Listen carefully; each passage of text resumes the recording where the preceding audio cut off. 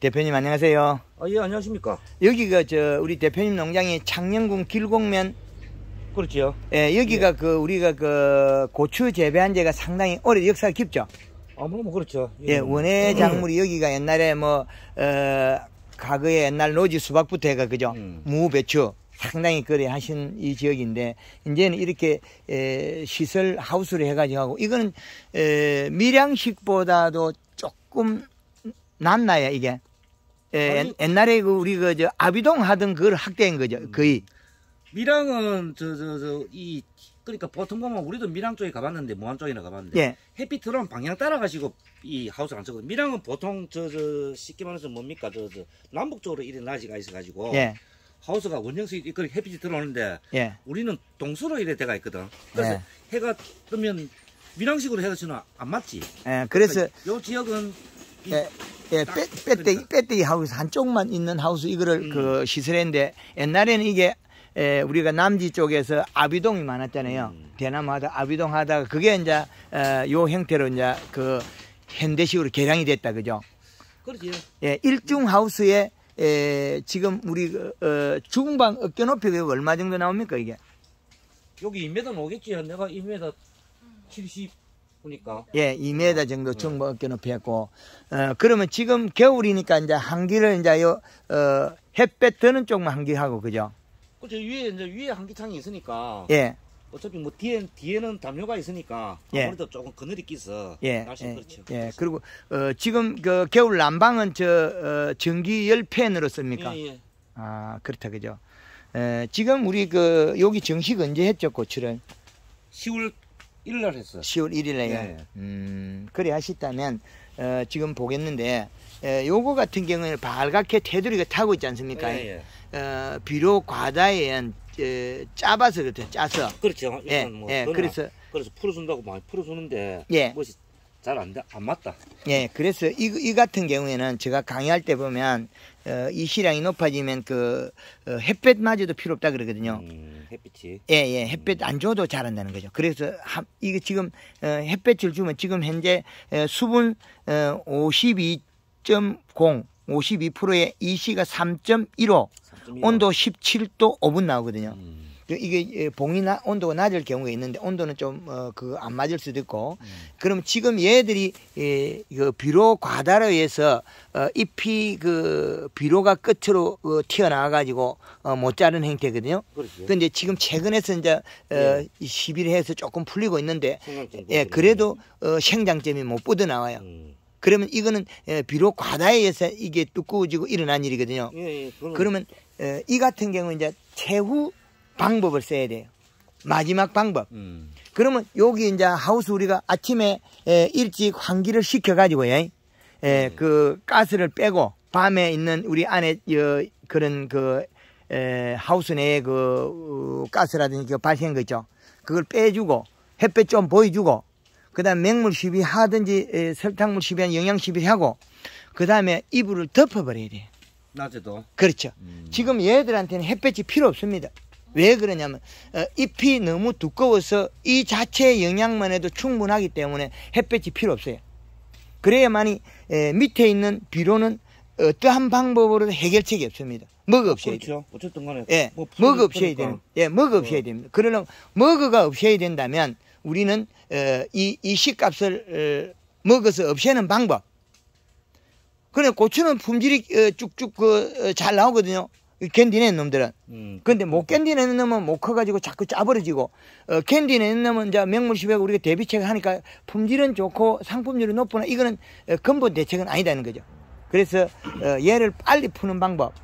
어, 잎에 영양소가 있기 때문에 음. 이 상태라면, 어, 아침에 에, 우리가 그 해를 보여주고, 예. 그, 어, 뭐 저희 제품 쓴다면 써줘도 되고, 음. 어, 저희 제품 쓰는 쪽으로 한번 이야기해 보겠습니다. 예, 예. 에, 골드 그린 에, 물 500에 1.5리터 에, 설탕 에, 2kg 음. 그 다음에 지금 얘들한테 염화가리 쓸 수가 없어요 밑에 비분이 많이 있기 때문에 예, 예, 예. 그래 가지고 어, 아침에 연면 시비해주고 잎에 물이 있는 상태에서 바로 덮어버려야 돼 이불을 이거는 며칠을 햇볕 안 받아 전혀 이상 없어요 그 저녁에 다시 어, 햇볕을 오후에 다시 햇볕을 좀 보여주고 가스 빼고 또 다시 덮어놓으면 돼요. 요 덮었을 때 저 입구에 저는 환기를 해야 되지 않습니까? 어, 덮었을 때도 뭐, 뭐 환기는 그 열어놔도 상관없지. 예, 환기만큼만 내려도 되고요. 그럼 얘들한테는 지금 이렇게 우리가 안에 있으면 햇볕이 얼굴이 따가울 정도로 세잖아요. 음, 근데 이 햇볕 양이 얘들한테 도리어 장애가 돼요. 음. 입속에 먹을 게 가득 있는데 햇볕을 안 줘도 된다는 거죠. 이실을 떨어뜨려야 되니까. 그렇죠. 일단은 뭐 어쨌든 이실을 이실을 떨었는데 저도 이제 뭐 누말 따나 뭐뭐 말 따나 맹물도 줘보고 예, 그 뭐 시중에 파는 거니까 이실을 많이 떨어뜨리는 예. 그죠? 예, 미생물제라든지 예. 갖가지 하여튼간에 뭐 아주 아예 비분이 없는 거 예. 그죠? 뭐 그걸 했는데도 그래도 어느 정도 많이 나타난 기다 이게 음, 처음에는 예. 거의 뭐 10 이상 나왔으니 거의 저 저 저 농사 불가. 농사가 그래 안 되는 상황에서 그래 어쨌든 간에 이래 지금 키워 나간 기라 지금 예, 이것도. 그랬는데 요거를 빨리 푸는 방법이 에, 자연의 힘을 이용해 가지고 자연의 힘을 음, 자연의 힘 예, 자연의 힘을 요 어, 우리가 그 햇볕을 가려 가지고 얘를 이용하자는 거죠. 햇볕을 햇볕을 가려줘도 우리가 어, 시간적으로 충분하게 얘들이 어, 에, 된다는 거죠. 그 얘들한테는 지금 잎에 영양이 워낙 많기 때문에 이거 이거 이거 햇볕을 가려주고 쭉쭉 키워내야 되거든요. 위하든지 간에. 아 그렇죠 예, 뭐 그래서, 에, 전반적으로. 아침 그래서 저녁으로만 어, 햇볕을 보여주고 어, 그렇게 하는 게 제일 효율적이라는 거죠. 그리고, 그리고 어, 이것들이 이제 회복되는 놈은 회복되고 덜 회복되는 놈은 덜 회복되고 그게 이제 우리가 어, 서서 비료 뿌린 자리 위치라는 거죠. 음. 우리가 비료 스- 뿌릴 때 선 자리 있잖아요. 거기는 많이 뿌려주고 외곽 쪽은 적게 아무래도 그 예. 그래서 저쪽 가해 쪽에는 뭐 쭉쭉 음. 내려지고 컸잖아요. 저거는. 그러니까. 예, 저것들은 풀려 많이 풀렸어. 그런데 예, 전체 면적을 봤을 때 예, 잘 풀린 놈보다 아직까지도 안 풀린 숫자가 많기 때문에 그렇게 바꾸라는 거죠. 풀린 숫자가 많으면 또 풀린 숫자 많은 쪽을 바꿔야 되는데 예, 전체 우리가 생산량을 계산했을 때 예, 안 풀린 수치가 많다는 거죠. 안 풀린 게 예, 아직까지 자기가 어, 회복을 못한 게 못한 게 예, 못한 게약그그약 65%에서 70% 가까이 되기 때문에 30% 풀린 거에 대해서 어, 수, 어, 수를 더 높게 할 필요는 없다는 거죠. 그리고 햇볕이 없어도 어, 그 설탕물 시빌에서 탄수화물 공급시키면 얘들한테는 또 어, 장애가 없습니다. 햇볕을 안 봐도 음. 그리고 아침 저녁으로 잠깐 잠깐만 봐도 얘들은 어, 빠른 시간에 에, 햇빛을 빨아들여요. 어, 그게 제일 최선적이라고 어, 말씀드릴 수 예, 예. 있겠습니다. 어, 그리고 어, 과학적인 방법은 이 시를 측정하고 현재의 방법을 계산을 해서 현재 우리가 공급을 하든지 선택을 해야 된다. 그게 최선책이 과학적입니다.